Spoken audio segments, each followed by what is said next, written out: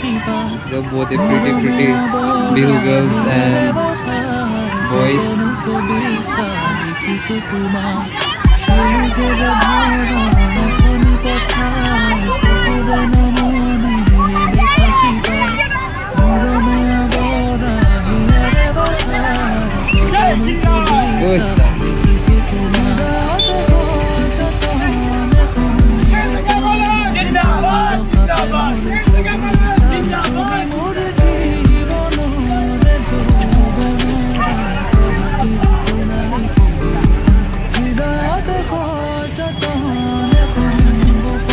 Yeah.